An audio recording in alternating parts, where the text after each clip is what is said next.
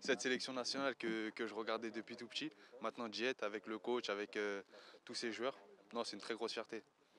Non, c'était, non, ça a été. En fait, ça a un peu compliqué où la, la fédération, des fois, en gros, ils essayaient de, de m'appeler avec l'équipe de, de France Sport. Ça veut dire ils essayaient tant bien que mal, mais j'avais déjà fait mon choix. Après, euh, c'est respectable de leur part, c'est normal. Mais là, je suis très fier d'être d'être avec la sélection A et, et de pouvoir euh, montrer ce que je sais faire. Euh, je l'attendais. Après, si j'étais pas appelé, j'allais pas, j'allais continuer à travailler. Peut-être que ça allait être aussi un manque de délai. Ça s'est fait rapidement. Ça s'est fait très rapidement.